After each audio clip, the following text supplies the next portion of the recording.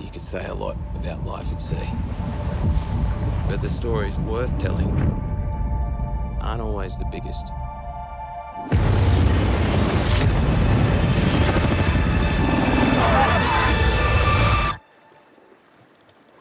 You don't have to mention exotic locations or fill the air with suspense.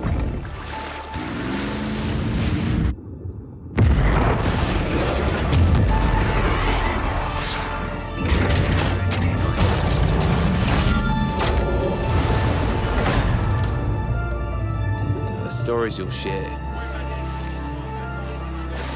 are all about people. Who you did it for. And who you got to do it with. No matter how extraordinary the scene.